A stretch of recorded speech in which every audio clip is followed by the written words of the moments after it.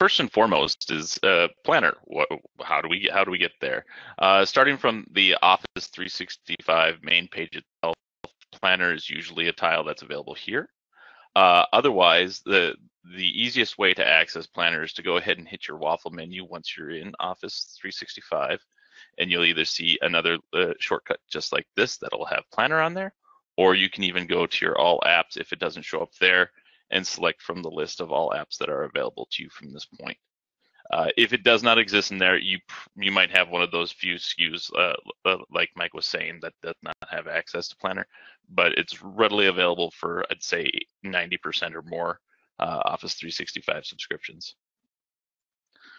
Now, accessing Planner, you'll kind of see uh, it, a lot of times I like to refer to it as uh, you know the grow up from the old to-do Wunderlist styles uh, edging yourself into the more robust project management aspects, uh, getting your way to, to the, the further grow up plan as you develop and uh, expand out on your project management capabilities. Uh, we'll start with the, uh, the easiest thing. We're going to create a new plan. Uh, and once we do that, you can either add it to an existing Office 365 group if you're familiar and have that assigned, or you can create one with it as well. For this one, I'm just going to say uh, we're going to keep this as a, a low weight one where we want to do Josh's to-do list. So uh, this is the instance where, let's say you don't necessarily have uh, the project management office created up and a whole bunch of projects assigned to you, but you want to have a little bit more of that robust aspect of uh, of things for you to be able to take a look at your work stream and what you're working on and be able to manage it yourself. So from that standpoint, we have effectively this to do and I can go ahead and say, okay, I got my buckets. I got to, uh, to do, you know, and we can create a new bucket and say, I want, uh, you know, task for later. We, we could say next month. And then we can just easily create another one that says uh, maybe later. From this point, we can then create tasks. Say, oh, well, uh, I'm looking to, uh, let's see, I got to finish my uh, certifications that's always a popular one. And you can see that it's easy to just go ahead and add a task, at least uh, to, this respect, without having to fill out a lot of information to it. But you can delve into this, and it has a, a, a lot more capabilities for you to go ahead and actually fill out more information pertaining to it. You can create sub checklists to the items. Say, well, in order for me to finish my certification, I have so many steps for it to do. I have to, you know, study for a particular ex exam set up your testing time. And uh, and then actually you know print it out and be proud of your accomplishments.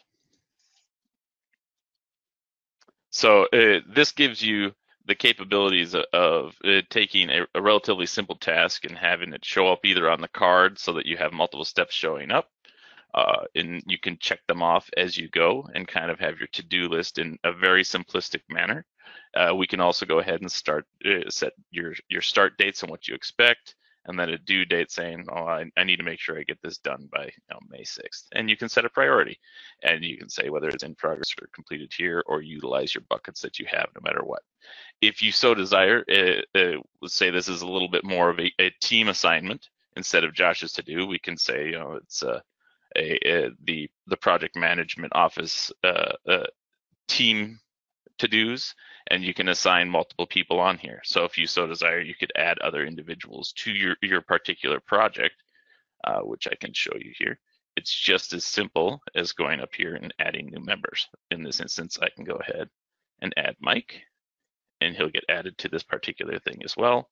And I can say, oh, well, I need to finish my certifications, but I also want to add Mike to it as well.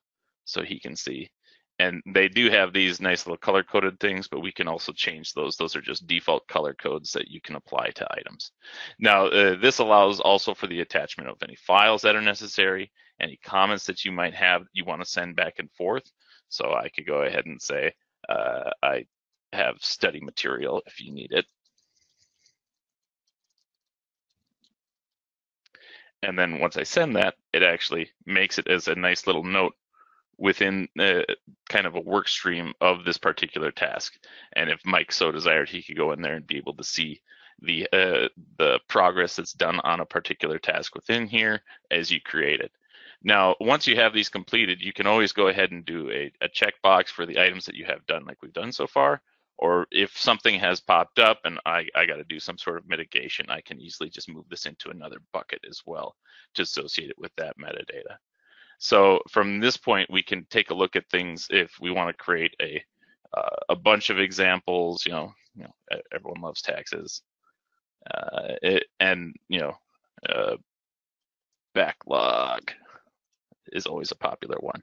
We can go and do that and say, well, taxes that can be done maybe later. Hopefully not too much, but you can go ahead and review that information and be able to see a breakdown in the chart as well as to kind of have this reporting capabilities on the items that you enter into your existing plan to be able to see how things break down from not started in progress late and and so on and so forth. The, the the great usage of this ends up being when you do kind of uh, jump from that initial to-do list item for when you're creating a plan to say more of a robust project before heading into maybe the realm of project for the web where you want to start working on dependencies and items like that. Say you want to do more like an agile type of development work stream. This is an example of uh, one of them. So I've already kind of pre-created this where I have an example app development plan that I have set up here. I got my different buckets that I created where I have planning, analysis, design, implementation, and testing. Those are kind of like my hammock tasks that I want to have these particular items within there. And these are my high level items that need to get done for each, each portion. You can see I'm able to capture a lot of metadata associated with it. I can go ahead and uh, be able to look at all the important items on there, uh, whether it's in progress, due dates, any notes, uh, uh, kind of the, the step up from where we were. And you can see I even have a couple of these listed as pending sign off, or verified. So you can label those particular color labels to be able to see things uh, at a glance that give you a little bit more of that detail that you might be striving to see in more of a group related task activity, such as like uh, an app development process, dev cycle, any sort of review that you would consider using with an agile type of uh, aspect to it. You can also go ahead and take a look at things. If we take a look at the charts here, this gives a little bit more information because now we have uh, several more users in this example where we can then see the status of all the tasks and the breakdown of the priorities that we have set as well as the tasks that are assigned to the different uh, users uh, that are part of this group associated with uh, with the planner plan. And thirdly, we can go ahead and take a look at the schedule and see how this visually breaks down for estimated dates for the tasks that we created within uh, this planner plan itself and be able to kind of see how this goes through and what what our calendar workflow looks like for this uh, this example execution and be able to see those items on the side panel as well. Thirdly, uh, so after this point, you can always go ahead and take a look and change how items are grouped so you can easily move stuff around. So the first instance is we're taking a look at items bucket by bucket. We can also go ahead and take a look assigned to and see, oh, well, I have two tasks here that I forgot to actually assign to somebody rather than hunting down those tasks and multiple, uh, you know, modifying them from that standpoint.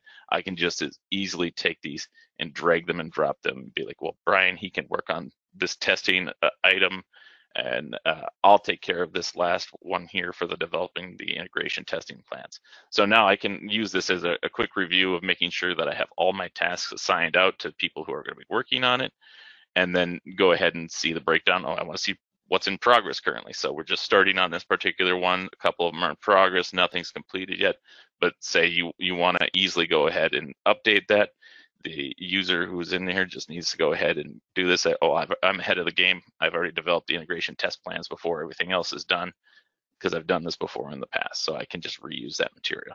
So, uh, and just like that, I'm able to go ahead and, and move it over to the bucket where it is completed in, instead of in progress or not started to be able to rapidly modify my plan without, uh, without too much hassle.